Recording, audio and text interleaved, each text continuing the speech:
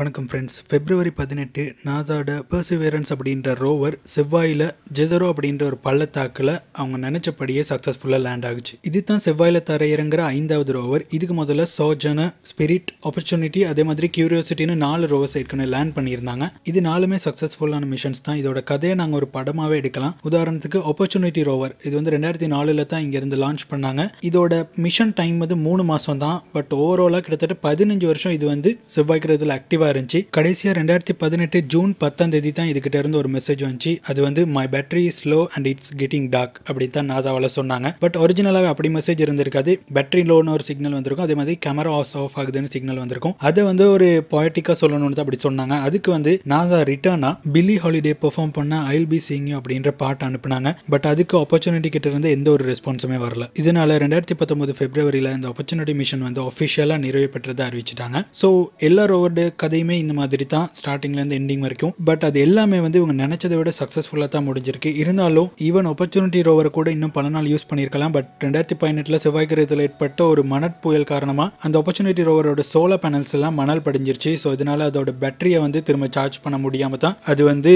செயலிழந்தது இருந்தது. அதே மாதிரி தான் ஸ்பிரிட் ரோவரும் வந்து அதோட ஒரு டயர் ஒரு வீல் வந்து ஒரு சின்ன குழியில் மாட்டினால அதுலேருந்து வெளியே வர முடியாமல் தான் அப்படியே ஆஃப் ஆகிருச்சு. பட் நாங்கள் இப்போ பர்சிவியரன்ஸ்க்கு வரலாம். பர்சிவியரன்ஸ்னாலே அதில் அர்த்தம் வந்து விடாமுயற்சி. அதே மாதிரி தான் இந்த ரோவரில் வந்து முதல் தரமாக வந்து இன்ஜினியூட்டி அப்படின்ற ஒரு ஹெலிகாப்டரை வந்து இன்க்ளூட் பண்ணியிருக்காங்க. அதாவது ஒரு ட்ரோன் மாதிரி. இன்ஜினியூட்டினா வந்து நுண்ணறிவு. ஸோ இந்த ரோவரில் தான் இந்த காப்டர் இருக்கு. இந்த ரோவரை தரையிறக்கின இடம் வந்து ஜெசரோ அப்படின்ற ஒரு பள்ளத்தாக்கு. அதாவது பில்லியன் வருடங்களுக்கு முன்னுக்க இந்த பள்ளத்தாக்கு இருந்த இடத்துல வந்து நீர் வந்து பாய்ந்தோடியதாக சொல்றாங்க. அதாவது திரவ நீர். ஸோ அதே மாதிரி இதனால இதை சுற்றி வந்து டெல்டா பகுதிகள் இருக்கக்கூடும் அப்படின்னு சொல்றாங்க. அதாவது நாங்கள் பூமியில் வந்து பார்க்குறோம். அநேகமாகவே வந்து ஆற்றங்கரைகள்லையோ அப்படி இல்லாட்டி ஆறும் கடலும் சேர இடங்களை வந்து டெல்டாஸ் உருவாகும். அதில் வந்து கனியுப்புகள் எல்லாம் நிறைஞ்சிருக்கும். ஸோ சப்போஸ் எப்பயாச்சும் ஒரு நாள் வந்து செவ்வாய் கிரகத்தில் உயிரினம் வாழ்ந்துருந்துச்சுன்னா அது ஒரு நுண்ணுயிரியாக இருந்தாலும் பரவாயில்ல. அது வந்து இந்த மாதிரி ஒரு இடத்துல வாழ்ந்துருக்கான சான்று தான் வந்து அதிகமாக இருக்குது. இதில் தான் சான்சஸ் கூட வாழ்ந்துருக்கிறதுக்கு. ஸோ அதனால தான் அவங்க இந்த இடத்த டார்கெட் பண்ணியிருக்காங்க. இந்த இடத்துல இந்த ரோவர் வந்து அதோட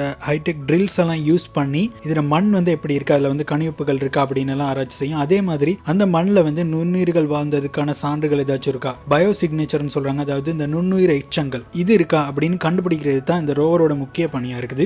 அடுத்த ஒரு முக்கிய விஷயம் தான் இந்த ரோவரில் வந்து முதல் முறையாக அந்த செவ்வாயிலிருந்து சாம்பிள்ஸ் கலெக்ட் பண்ணுற மாதிரி ஒரு ஃபீச்சர் இன்க்ளூட் பண்ணியிருக்காங்க. அதாவது இந்த ரோவர் வந்து அது பயணிக்கிற நேரம் அந்த ஒவ்வொரு இடத்துல இருந்தும் கொஞ்சம் கொஞ்சம் மண் சாம்பிள்ஸை அதே மாதிரி உடஞ்ச கற்கள் இதெல்லாத்தையுமே வந்து சாம்பிள் பண்ணி எடுத்து டெஸ்ட் டியூப்ஸ்களுக்கு போட்டு சேவ் பண்ணி வைக்குது. இந்த மாதிரி கிட்டத்தட்ட முப்பது சாம்பிள்ஸ் கலெக்ட் பண்ண பிறகு அது அவ்வளோத்தையுமே ஒரு பாக்ஸில் சேர்த்து அதை வந்து செவ்வாய் கிரகத்தில் ஏதோ ஒரு இடத்துல வச்சுட்டு அந்த லொக்கேஷனை வந்து இது பூமிக்கு அனுப்பிடும் ஸோ நாசாவோட பிளான் என்னென்னா மனிதர்களை முத முத அனுப்புறதுக்கு முதல்ல இன்னொன்று ஒரு வெஹிக்கல் அங்கே அனுப்பி அதாவது ஒரு த்ரீ ஸ்டேஜ் வெஹிக்கல் ஒன்று வந்து செவ்வாய் கிரகத்தோட வளிமண்டலத்திலேயே மிதந்துக்கிட்டு இருக்கும். அதுலேருந்து இன்னொன்று இன்னொன்று வெஹிக்கல் வந்து செவ்வாய் கிரகத்தில் லேண்ட் ஆகும். அதுலக்கிருந்து ஒரு ரோவர் வந்து வெளியே வந்து செவ்வாய் இடத்துல எந்த இடத்துல இந்த சாம்பிள் இருக்குன்னு பொதுவாக அது கிட்டே தான் லேண்ட் பண்ணுவாங்க. ஸோ அந்த சாம்பிள் அவ்வளோத்தையுமே எடுத்துக்கிட்டு திரும்ப அந்த லேண்டிங் வெஹிக்கலுக்குள்ளே போயிட்டு அது வந்து மேலே போயிட்டு அந்த ஆபிட்டர் அதாவது வளிமண்டலத்தில் இருக்குன்னு சொன்னால் அந்த வெஹிக்கலோட ஜாயிண்ட் ஆகி திரும்ப வந்து பூமிக்கு கொண்டு வரும். மனிதர்களை நிலவில் தரையிறக்குனது இதே கான்செப்டை யூஸ் பண்ணி தான் பட் இருந்தாலும் செவ்வாய் கிரகத்தில் இது செய்கிறது வந்து ஒரு ஈஸியான விஷயம் இல்லை. எப்படியோ ரெண்டாயிரத்தி முப்பத்தொன்னுக்கு முதல்ல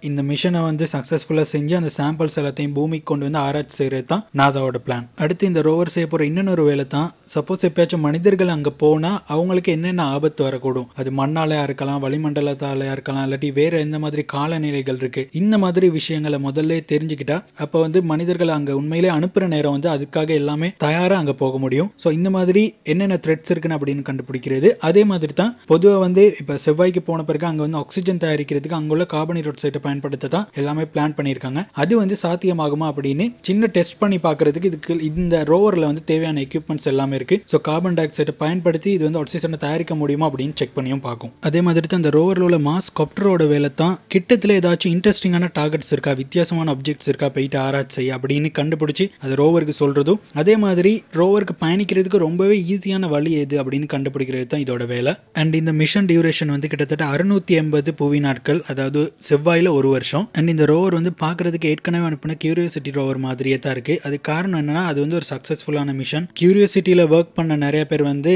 இந்த ரோவர் டிசைனிங்லையும் வந்து ஒர்க் பண்ணியிருக்காங்க. அது வந்து சக்ஸஸ்ஃபுல்லாக இருந்தனால அதே மாடலை வந்து யூஸ் பண்ணாங்க. பட் இருந்தாலும் இது வந்து பெருசு இதில் வந்து கேமராஸ் எல்லாம் கூட இருக்கு. இதில் வந்து பத்தொன்பது கேமராஸ் இருக்கு. அதே மாதிரி ரெண்டு மைக்ரோஃபோன்ஸ் இருக்கு. செவ்வாய் கிரகத்தோட என்வாரன்மெண்ட் நாய்ஸ் எப்படி இருக்கும் அப்படின்னு ரெக்கார்ட் பண்ணுறதுக்காக அதே மாதிரி இதில் வீல்ஸ் எல்லாமே வந்து வித்தியாசமாக தான் டிசைன் பண்ணியிருக்காங்க. ஏன்னா கியூரியோசிட்டி ரோவரை கொஞ்ச நாள் யூஸ் பண்ண பிறகு இவங்க வந்து அந்த வீல்ஸ் எல்லாம் ரொம்பவே தேஞ்சு இருக்கிறத பார்த்தாங்க. அதனால இதில் வந்து இன்னும் கொஞ்சம் உறுதியான மெட்டீரியல் யூஸ் பண்ணியிருக்காங்க. அதே மாதிரி இதில் ஓவரால் ரோவரோட வெயிட்டும் வந்து அதை விட கியூரியோசிட்டியோட கிட்டத்தட்ட பதினாலு மடங்கு அதிகமாக இருக்குது டோட்டலாக ஆயிரத்தி இருபத்தஞ்சு கிலோகிராம் தான் இந்த பர்சிவியரன்ஸ் ரோவரோட வெயிட் இந்த பர்சிவியரன்ஸ் ரோவருக்கு தேவையான மின்சாரத்தை உருவாக்குறதுக்கு வந்து புளூட்டோனியம் ஆக்சைடு ரியாக்டர்ஸை பயன்படுத்துகிறாங்க இதுலேருந்து வர வெப்பம் மூலமாக தான் மின்சாரம் உருவாக்கப்படுது. இதனால் சோலார் பேனல்ஸ் இல்லை இது தவிர ரெண்டு லித்தியம் அயன் பேட்டரிஸ் இருக்கு. இந்த பேட்டரிஸும் வந்து எவென்ச்சுவலி சார்ஜ் ஆகும். இந்த ரியாக்டர்ல இருந்து உருவாகிற கரண்ட் மூலமா. ஸோ எப்பயாச்சும் அதிகமாக கரண்ட் தேவைப்படுற நேரம் இந்த பேட்டரிஸ்ல உள்ள கரண்ட்டும் யூஸ் ஆகும். எப்படியோ ஹியூமனிட்டியோட ஒரு அடுத்த லெவலில் தான் இந்த பெர்சிவியரன்ஸ் ரோவரை பார்க்குறாங்க பூமியில இருந்து செவ்வாய் கிரகத்துக்கு ஒரு விஷயத்தை அனுப்புறதே வந்து ஒருத்தர் கண்ணால ஷூட் பண்ண ஒரு புல்லட் அது பறந்து இருக்க நேரமே நாம இன்னொரு கன் எடுத்து அந்த புல்லட்டை ஷூட் பண்ற மாதிரியான ஒரு விஷயம் தான். ஏன்னா ரெண்டு கோள்களுமே வந்து அவ்வளோ வேகமாக தான் பயணிச்சுக்கிட்டு இருக்கு. ஸோ அவ்வளோ தூரம் இன்னைக்கு வந்து சயின்ஸ் வளர்ச்சி அடைஞ்சிருக்கு. அதே மாதிரி நாங்கள் ஏற்கனவே நிறையா ரோவர்ஸ் சேட்டலைட்ஸும் அங்கே அனுப்பி தான் இருக்கும். ஸோ இந்த ரோவர் மூலமாகவும் நிறைய அந்த செவ்வாய் கிரகத்தை பற்றி தெரிஞ்சுக்கிட்டு அது வந்து பிற்காலத்தில் முழு மனித சமுதாயத்துக்குமே வந்து ஒரு யூஸ்ஃபுல்லான விஷயமா இருக்கும் அப்படின்றதுல எந்த ஒரு டவுட்டுமே இல்லை. ஸோ இந்த வீடியோ ஹெல்ப்ஃபுல்லாக இருந்திருக்கும்னு நினைக்கிறேன். அப்படி இருந்துச்சுன்னா மறக்காமல் லைக் பண்ணுங்கள் கமெண்ட் பண்ணுங்க சேனலுக்கு சப்ஸ்கிரைப் பண்ணுங்கள் அடுத்த வீடியோவில் சந்திப்போம்.